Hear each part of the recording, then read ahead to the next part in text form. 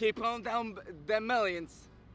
He's just saying senseless stuff, but I'm not saying senseless stuff. I actually know what's good with Jay Z.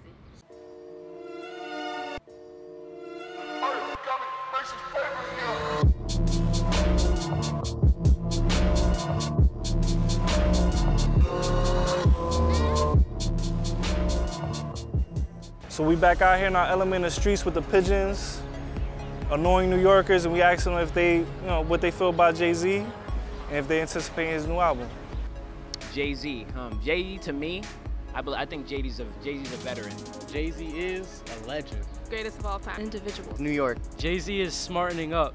Jay Z is ancient. Are you anticipating his new album that comes out next week? Um, I'm not really that excited about his new album. Like, I'm probably not gonna seek it out, but like, Reasonable Doubt is like one of my favorite records of all time. That's probably my favorite record right there. Favorite Jay Z album? Mm. I had to get to Blueprint.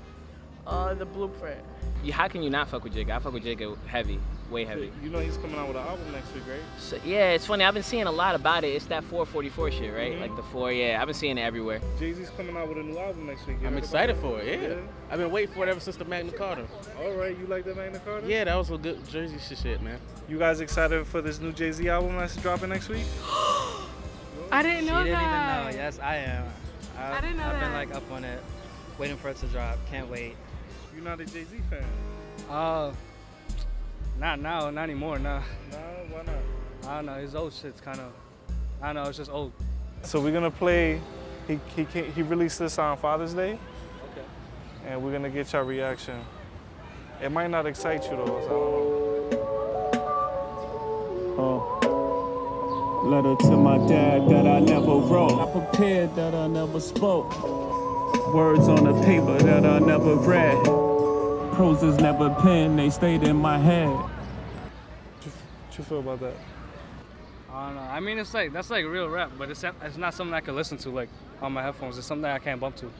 How about you? It's cool. I mean, it's a chill. It's, it seems like he's. It's like a preview of a chill track. I think he's gonna do everything. He's gonna do something like, from like a banger to like something chill. That's, I actually like that because you know, so the first bar he started with, you already knew what the sto- song was gonna be about. Okay. And you know, I don't really know too. I never really knew too much about his dad and stuff, or any of his family life. So you know, I'll be interested in hearing the rest of that song. Uh, honestly, I'm excited now. Now that you just played the snippet, I actually want to see like what the album is gonna be like.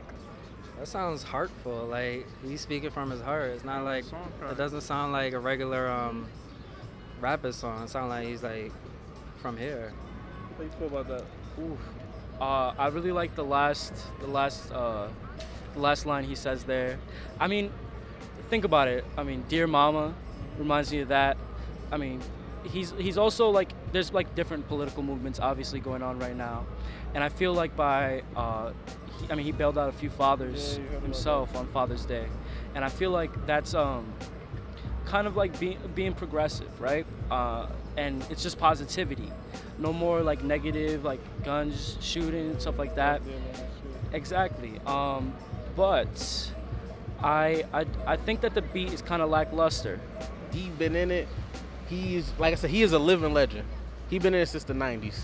He did like he is like what everybody should want to be if they go into the music industry. So there you have it, man. I, I was expecting some more hate, but the people love Jay-Z, man. You know, I'm anticipating the album. I was kind of feeling a little weird about, you know, ID producing the whole thing, you know what I mean?